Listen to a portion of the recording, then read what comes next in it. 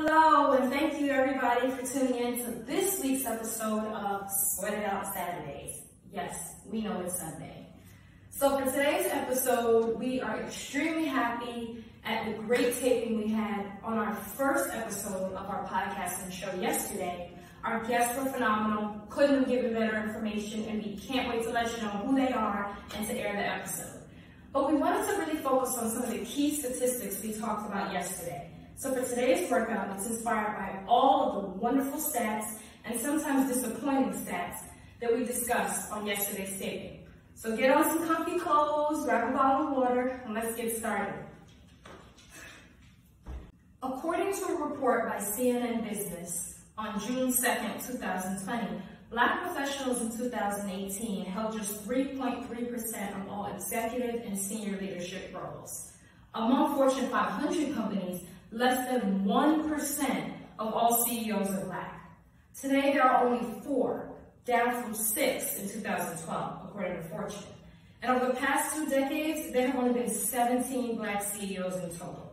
Of those, only one has been a woman, Ursula Burns, who ran Xerox from 2009 to 2016. So for the first part of our workout, we're gonna do our arms and do four push-ups in honor of those four Black CEOs.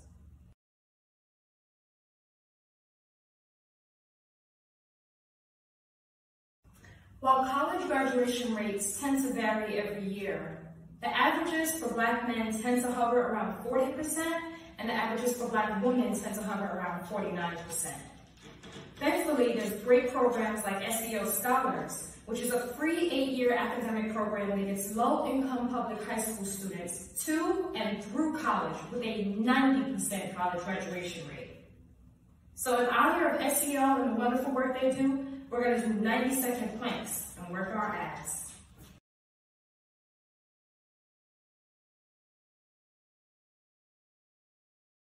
The SEO Career Investment Banking Program is an eight-month program focusing on the education of underrepresented individuals within financial services.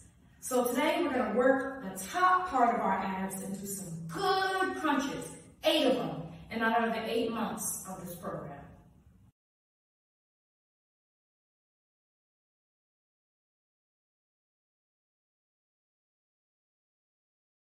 The PFIN index measures eight key areas of personal finance knowledge. Earning, consuming, saving, investing, borrowing and managing debt, insuring, comprehending risk and uncertainty, and go-to finance information sources. According to the report, African American adults answered only 38% of the PFIN index questions correctly compared to 55% of white adults. So for this part of the cardio workout, if you're African American, you do 38 jumping jacks. If you're Caucasian, you do 55. And if you're another race, you do somewhere in between.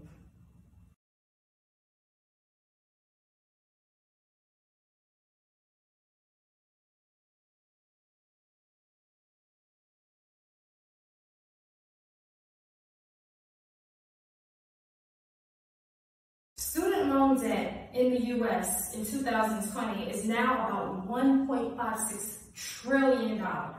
It's the highest form of debt, second only to mortgages, with 44.7 million total U.S. borrowers.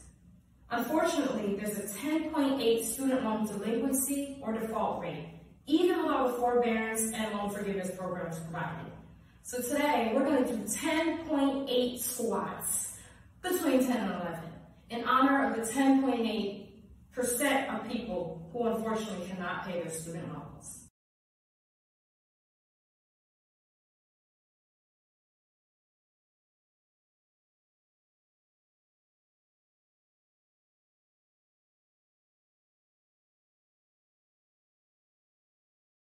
Well, thank you so much to our 2053 fam for tuning in. We hope you got a good workout. We hope you broke a sweat. And most importantly, we hope that you learned about some of the statistics that we discussed on the first episode of our new podcast show.